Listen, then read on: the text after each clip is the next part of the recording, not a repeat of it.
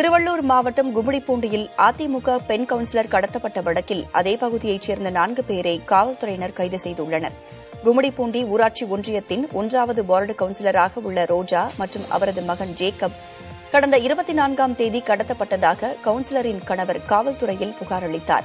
இந்த நிலையில் தங்களை கடத்திய கும்பல் ஆந்திர மாநிலம் சத்தியவேடு அருகே ராளக்குப்பம் என்ற பகுதியில் விட்டுவிட்டு தப்பிச் சென்று விட்டதாக கவுன்சிலர் ரோஜா மற்றும் அவரது மகன் வீடு திரும்பினர். இருவரும் கடத்தி செல்லப்பட்ட இடத்தில் செல்போன் சிக்னல்களை ஆய்வு செய்த காவல்துறையினர் சுரேந்தர் என்பவரை கைது செய்தனர். அவரிடம் நடத்தப்பட்ட விசாரணையில் தனக்கு சொந்தமான நிலத்தை கவுன்சிலர் ரோஜாவின் கணவர் ரமேஷ் குறைந்த விலைக்கு வாங்கியதாகவும் எஞ்சிய நிலத்தையும் குறைந்த விலைக்கு கேட்டதாகவும் தெரிவித்தார். ரமேஷை மிரட்டுவதற்காக தனது நான்கு நண்பர்களுடன் அவரது வீட்டிற்கு சென்று அவர் இல்லாததால் மனைவி மற்றும் மகனை கடத்தியதாக தெரிவித்தார். இந்த வாக்குமூலத்தின் அடிப்படையில் சுரேந்தர் உள்ளிட்ட நான்கு பேரை காவல்துறையினர் கைது செய்தனர். தலைமறைவாக உள்ள மேலும் ஒருவரை தேடி வருகின்றனர்.